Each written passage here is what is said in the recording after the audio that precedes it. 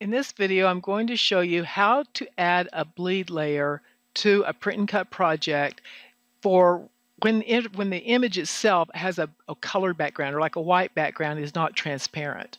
So, and this is something that you would use. I'm, I happen to use a, I'm going to import a PNG file, but you would use the same process if you were bringing in a JPEG file, either drag and drop or a BMP file or something like that, um, because those always like are going to have a color background. They're not going to have a transparent background. So I've brought in this bird and I can confirm that it has a, um, a, a white colored background because as I move it around, I can't see the grid immediately around the bird. So that tells me it is indeed a colored background.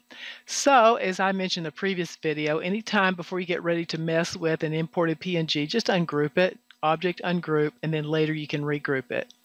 Now in this cut layer, if I go to the preview thing, just as I said, when this uh, has a colored background, you're just going to see a rectangle here. So you don't want to cut a rectangle. So we're going to take this cut layer and delete it. Then we take the print layer and we need to add the cut line that we want around the shape. So we go to the trace image window and I'm going to scroll down up here so I can look at it and it's perfect because I left it perfect when I was try when I was doing it before testing. If I didn't have blackout turned on, no, notice this, I would get all these little specks and the eyes are being traced and stuff and I don't want that.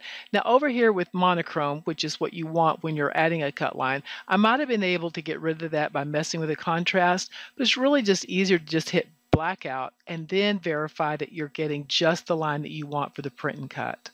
Then I can click on OK. And now then I have my cut line and I have the print line. And I'm going to rename this one cut. Okay. Now the next thing is in order to get the, um, the particular blade that I want, I need to make a shadow of this and I'm going to make it black because again, this particular image, as are many of the clip art images you find, they're outlined in black. So that's the color I want for the uh, for the bleed line. And I'll be making a video on another day that shows you what to do if, for example, you have, uh, let's say there was no black outline and you wanted part of it to be purple and part of the line to be to be this color orange. There's a way to do that too. Um, so anyhow, so let's come back and turn on this cut line and I'm going to select it. And I'm going to turn the fill to none because I don't really need it to have a color, a fill color. And then I'm going to go to, I'm going to make a copy of it. So let's go to edit, copy, edit, paste in place. So it's going to be exactly the same spot as the original. So now that I have the print line, which I'm going to kind of turn off right now and I've got these two cut lines. So one of these cut lines I'll also turn off. Now that I've got the cut line, and this cut line I'm going to use as the inside part of the bleed and then I'm going to make a shadow of it for the outside part. To do that, I have it selected. I go to Effects, Shadow Layer, and then I select the size of the shadow I want. And so let's say I wanted a 16th of an inch roughly, which is more than enough, and then just click on OK. Now then I have two. I have the cut line I sent and I have the shadow layer, and then the other two layers are still turned off. Now then I want to create, basically it's like a frame, what I call a frame, which is going to be taking the two of these and going to Object Merge. And so now then it just creates like this border sort of image that's going to be the bleed.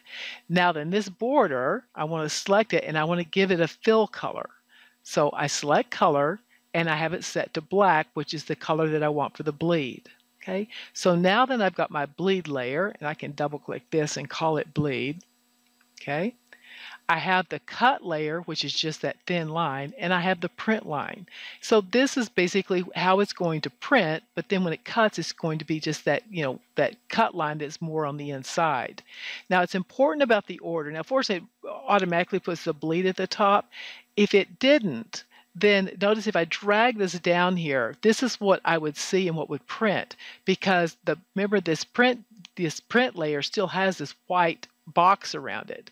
So that's why it's important the bleed to be up here on top. Okay. Also, this bleed layer, you don't want it to cut, right? Because otherwise it would cut twice, the inside and the outside, because it's kind of a frame. So you don't want it to cut at all. So you need to come over to your cut line type on the style panel and change it from cut to print plus cut print. So it can only print, it will never cut.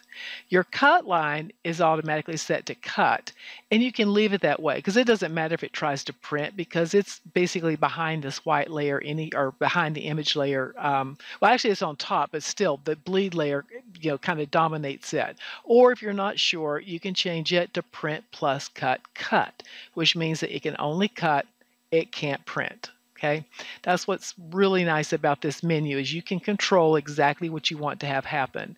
And then you've got your print layer.